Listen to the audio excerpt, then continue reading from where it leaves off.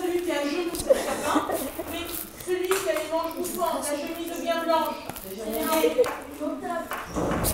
puis ça, ça va être, en tout cas dans ici en l'occurrence, c'est Léon en hiver. L'objectif, on voit bien, c'est pas des tenues de pauvres, c'est des tenues assez riches, mais à la mode de l'époque, tout à fait la. Donc, on devine l'époque.